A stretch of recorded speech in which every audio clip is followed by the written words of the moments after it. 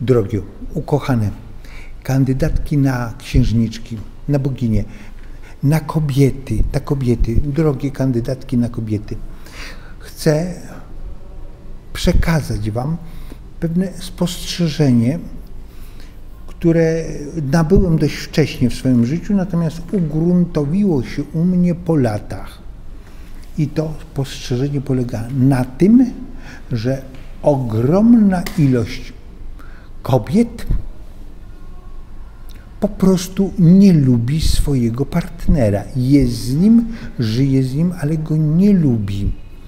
I przez to jest nieszczęśliwa, bo jeżeli się przebywa z kimś, kogo się nie lubi, to człowiekowi dzieje się krzywda, po prostu się dzieje krzywda. Drogie Panie, nie ma co się oszukiwać.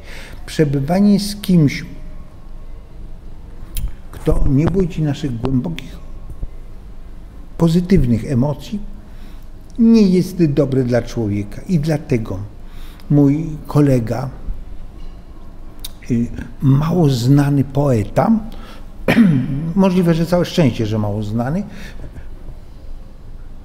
tę myśl moją sformułował w następny sposób.